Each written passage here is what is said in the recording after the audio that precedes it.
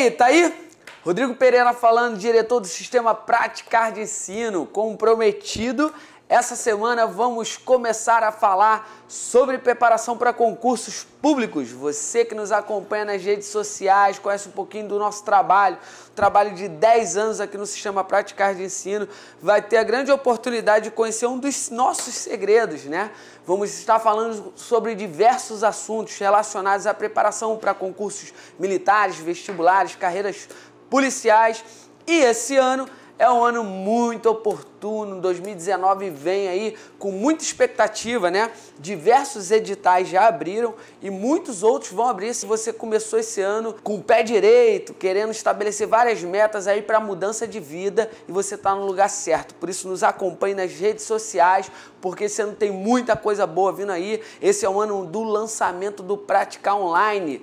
Você que acompanha o Praticar, conhece o Praticar por todos os cases de sucesso, aprovações e tem muita vontade de estudar conosco, mas não consegue porque mora longe. É para você que estamos preparando um material exclusivaço com o melhor do Praticar para os melhores concursos do Rio de Janeiro e do Brasil. Como prometido, eu vou estar disponibilizando diversas dicas, bizus, vamos falar aqui sobre planejamento para estudos, falar sobre editais, quebrar alguns paradigmas que envolvem concurso público e talvez você não tenha passado ainda num concurso público porque fica sempre indo pelo senso comum, né, fazendo o que todo mundo faz. E é sobre esse tema que eu quero falar hoje. Vamos tocar no assunto abertura de editais para concurso. Recentemente, saiu uma notícia aí do governador do estado do Rio de Janeiro sobre um determinado concurso, onde ele fala que vai abrir tantas vagas, 2 mil vagas lá para concurso.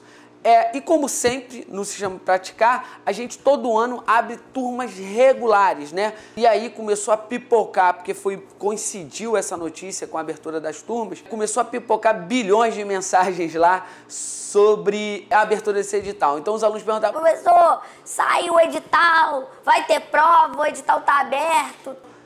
Cara, vamos lá, respira fundo e hoje eu quero te ensinar alguma coisa. Uma coisa muito importante não se estuda somente quando sai edital.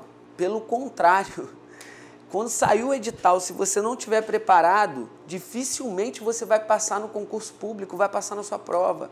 Então, que é uma dica do fundo do coração para quem trabalha mais de 15 anos com preparação, esteja preparado quando sair o edital.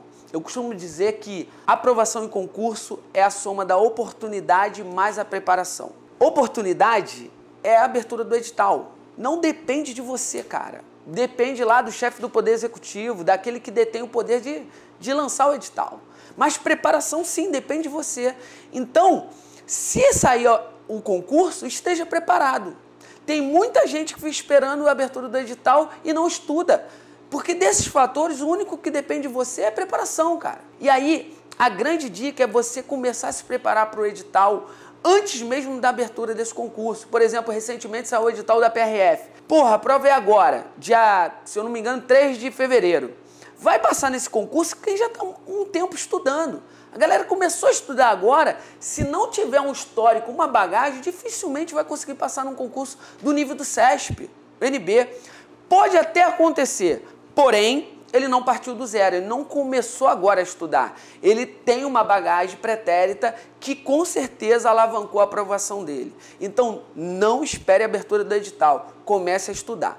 E aí, basicamente, a gente vai ver alguns perfis de editais. Né? Existe aquele edital regular, todo ano sai, que, por exemplo, é característico das turmas militares, dos concursos militares. É um edital que todo ano ele sai, todo ano acontece.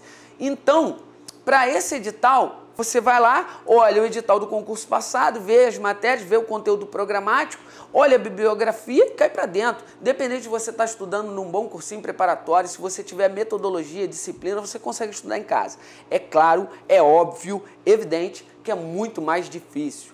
Por isso, recorrer a um bom curso preparatório te dá muito mais chances de pleitear essa vaga. Ainda mais se esse concurso for muito concorrido, beleza? Existem aqueles concursos que saem com pouca é regularidade, então de dois em dois anos, três em três anos está saindo, porém o edital pouco muda, né?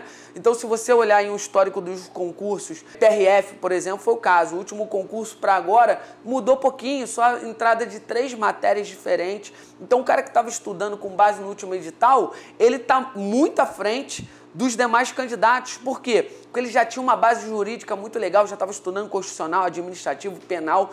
Isso é muito importante para você conseguir pleitear a vaga. E existem aqueles concursos que demoram a sair, porém, quando sai, muda bastante o edital. Para esses concursos aí, a estratégia é um pouco diferente. Você tem que analisar quais são as matérias de interesse para aquele cargo e quais matérias do último concurso dificilmente sairão no próximo edital. Comece por essas matérias.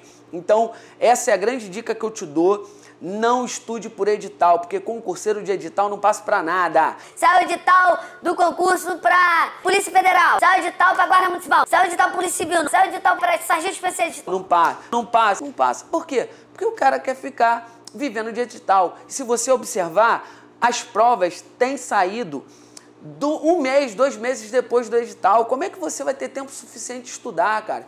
Então, se você tem sonho, você quer mudar de vida, você quer conquistar uma carreira no serviço público, seja organizado e comece a estudar antes da saída do edital.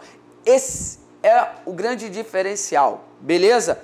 Procure uma equipe especializada, um curso especializado e comece a estudar com quem realmente se importa com a sua aprovação. Beleza? Essa é uma dica muito legal, responde a muitas perguntas, né? Muita gente me pergunta, professor, mas não saiu edital, como é que a gente vai fazer a preparação? Cara, evidente.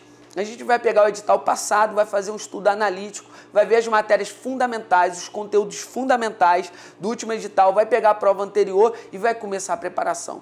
Havendo modificação, a gente vai se adequar. Então a gente começa numa turma extensiva e quando sai o edital a gente faz um intensivo, cujo objetivo é lapidar o seu conhecimento.